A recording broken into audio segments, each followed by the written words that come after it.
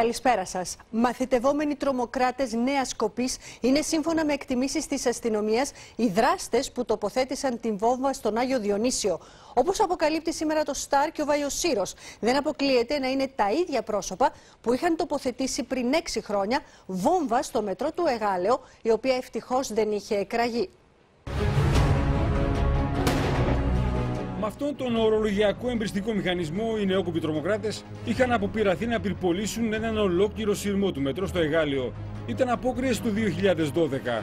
Αυτός που μετέφερε τον εμπριστικό μηχανισμό καθόταν απέναντι από την πόρτα αποβίβασης μαζί με ένα συνεργό του. Σύμφωνα με πληροφορίες, φορούσαν αποκριάτικε στολές και μάσκες για να μην καταγραφούν από τις κάμερες ασφαλείας. Ο αυτοσχέδιος εμπριστικός μηχανισμός ήταν μέσα σε μια χάρτινη πράσινη σακούλα. Σε χάρτινο κουτί παπουτσιών ήταν τοποθετημένη και η βόμβα έξω από τον Άγιο Διονύσιο. Αυτά τα ίδια πρόσωπα που τότε είχαν αναλάβει την ευθύνη ως κίνημα 12 Φλεβάρι αναζητούνται και σήμερα από την αστυνομία ως οι βασικοί ύποπτοι για την απόπειρα δολοφονίας του αστυνομικού με τη βόμβα παγίδα έξω από την εκκλησία στο Κολονάκι. Μιλάμε για μια ορολογιακή μολότοφ, μιλάμε για έναν ορολογιακό εμπριστικό μηχανισμό. Ενώ ο αστυνομικός πλησίασε να δει αν πράγματι πρόκειται για ύποπτο δέμα ή όχι και το δέμα εξαράγει. Κάθε τι το οποίο παράγει μια έκρηξη σίγουρα σκοτώνει. Η ενορία μου με συγκλονίστηκα. Είναι κάτι, μια εκκλησία που αγαπώ πάρα πολύ, που έχουμε χρόνια. Επικίνδυνο ήταν. Πολύ επικίνδυνο. Όσο έρχομαι εγώ εδώ στην εκκλησία δεν ανησυχώ. Ο γνωστός βαλιστικός αναλυτής Γιώργος Ραφτογιάννη αποκαλύπτει στο Σταρ πως αν ο νεοκόρος δεν είχε μετακινήσει τη βόμβα από την είσοδο του Αγίου Διονυσίου, θα ξεσπούσε πυρκαγιά, θα κεγόταν είσοδος και πιθανότατα να είχαμε τραυματισμό πιστών καθώς ήταν ώρα προσέλευσης. Θεωρώ ότι αυτό το είχαν δοκιμάσει κάπου αλλού και εδώ ήταν σίγουροι όταν το τοποθέτησαν. Η δικηγόρος Ήδη Γεωργίου περνούσε τυχαία δίπλα από τον αστυνομικό όταν έγινε η έκρηξη. Βγήκε λάμψη και φωτιά.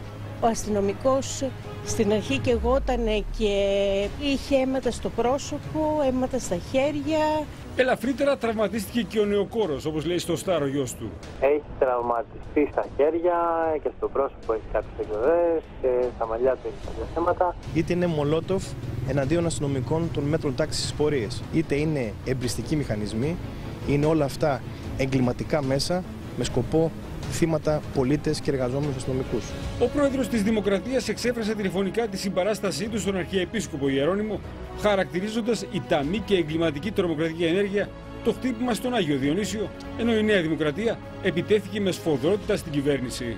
Ήδη ένα 24 ώρα μετά από το τελευταίο χτύπημα, ούτε ο κυβερνητικός εκπρόσωπος, κ. Τζανακόπουλος, ούτε ο πρωθυπουργός της χώρας, ο κ. Τσίπρας, ούτε η αρμόδια υπουργός, κ. Γεροβασίλη, αισθάνθηκαν την ανάγκη να κάνουν κάποια επίσημη δήλωση. Θα συνδεθούμε τώρα με τον κύριο Σταύρο Μπαλάσκα, τον Αντιπρόεδρο της Πανελλήνιας Ομοσπονδίας Αστυνομικών Υπαλλήλων. Καλησπέρα σας κύριε Μπαλάσκα και χρόνια πολλά. Χρόνια πολλά, καλησπέρα σας κυρία Ζαχαρέα, όσο καλά μπορεί να είναι. Έχετε δίκιο. Πείτε μας παρακαλώ αν φοβάστε ότι τόσο οι αστυνομικοί όσο κυρίως οι απλοί πολίτες μπορούν να βρεθούν ξανά μπροστά σε ένα τυφλό χτύπημα τέτοιου είδους.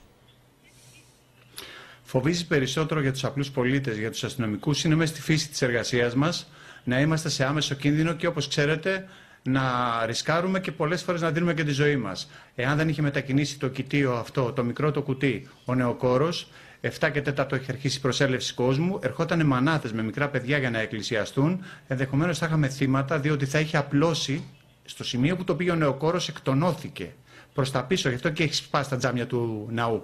Θα εκτονώνονταν προς την είσοδο του ναού και μετά ενδεχομένως να είχαμε αθώους πολίτες σε ατιμά. Αυτό μας φοβίζει και περισσότερο. Επειδή δεν υπήρξε κανένα προειδοποιητικό τηλεφώνημα, αυτό προκαλεί φρίκη σε όλους μας. Άρα μπορεί να συμβεί και τις επόμενες μέρες, τον επόμενο μήνα. Σαφέστατα. Αυτό λέγεται τρομοκρατική αλητεία.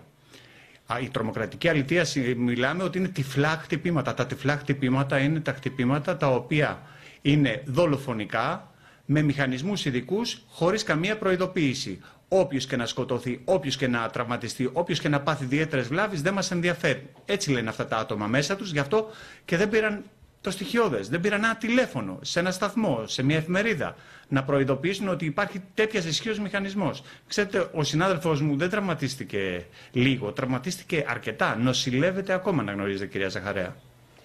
Πείτε μας παρακαλώ αν βρισκόμαστε μπροστά σε μια νέου είδους τρομοκρατία, αν αυτό που ακούσαμε στο ρεπορτάζ ότι μπορεί να πρόκειται για μια οργάνωση με το όνομα 12 Φλεβάρι που είχε προσπαθήσει να βάλει και βόμβα στο μετρό του Εγάλεο, αν φοβάστε δηλαδή ότι έχουμε να κάνουμε με τρομοκράτες νέας γενιάς που το μόνο που τους ενδιαφέρει είναι να χυθεί αίμα αθώων. Κοιτάξτε να δείτε, είναι σίγουρο ότι αυτοί οι τρομοκράτες, οι νέοι νεόκοποι τρομοκράτες, όπως πολύ καλά επισήμανε ο σταθμός σας, είναι μαθητευόμενοι μάγοι. Αυτό που ξέρουμε και αυτό που έχει αποδειχτεί πολλές φορές είναι ότι η τρομοκρατία πλέον έχει σχέσεις με τα πλοκάμια του ποινικού εγκλήματος και τις φυλακές. Έχουν λοιπόν μια διασύνδεση η οποία μας ανησυχεί ιδιαίτερα. Είναι σίγουρο ότι είναι νεαρότερα άτομα τα οποία τώρα ξεκινάνε την τρομοκρατική τους καριέρα και αυτό είναι που μας προβληματίζει.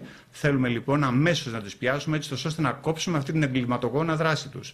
Διότι ε, απειλούνται, θα πάνε στο επόμενο βήμα, μεγαλύτερη ισχύ και απειλούνται ανθρώπινες ζωές πλέον.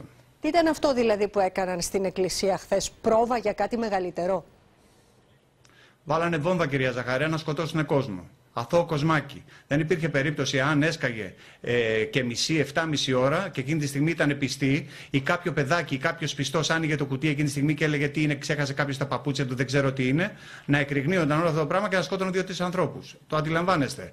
Ήταν δολοφονική επίθεση κατά αθώων ανθρώπων. Ήταν καθαρά τρομοκρατική δολοφονική επίθεση.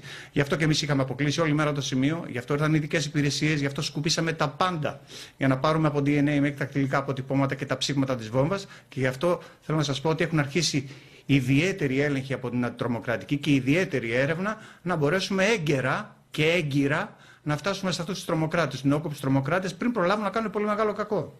Α το ελπίσουμε να συμβεί το γρηγορότερο δυνατό. Να σας ευχαριστήσω, κύριε Μπαλάσκα, για τη συνομιλία που είχαμε. Και... Πρωτοχρονιά με τους δικούς του θα κάνει όμως ο Δημήτρης Κουφοντίνας με την